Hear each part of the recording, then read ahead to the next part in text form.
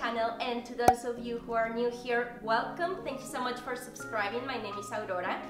For today's video, I have my morning skincare routine. And guys, this is a video that I've been wanting to share with you for ages, maybe since the beginning of my channel. Why? Because I love skincare. My mom is a cosmetician, so I grew up watching her and just wondering what those products were, what they faces, you know, I was like, I was very into that. Years later, you know, after the beginning of my channel, I think that I finally found a morning routine that actually works for me, that doesn't irritate my skin, that doesn't break me out. If you have oily to combination skin, because, okay, my T-zone is greasy, but this part of my face tends to get really dry sometimes.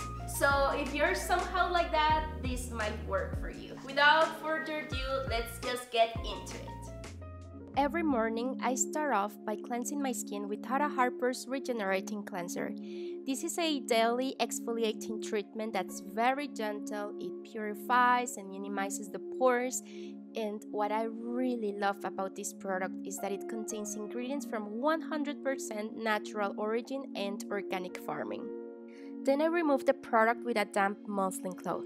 And this one is from Pai Skincare, but there is actually another one that I really love too from the Organic Pharmacy. Anyway, this cloth makes a great difference, guys, because it makes the face feel cleaner and fresher and it really helps to remove all the leftover product and bacteria. If my face is feeling particularly dry that day, I will spritz some of my Herbivore Botanicals Rose Water, but today I'm going to use Ren Skincare's Clarimatte Toner. So I will take an organic round cotton pad, pour some drops on it and apply it all over my face. This product really helps reducing my oiliness production throughout the whole day, guys. I am not kidding. And it also helps minimizing possible future breakouts. Next, I'll apply some of my niacinamide serum. This is from The Ordinary and I love it because once again, it reduces blemishes and balances all the sebum production. As you can see, I apply it mostly on my T-zone, just on my problem area. And finally, I apply a pea-sized amount of the Grown Alchemist's Matte Balancing Moisturizer, working on my face, on my neck, on circular motions, and even some on my under eye area. This is what I can tell you. So far, this is the best moisturizer that I've ever tried in my life.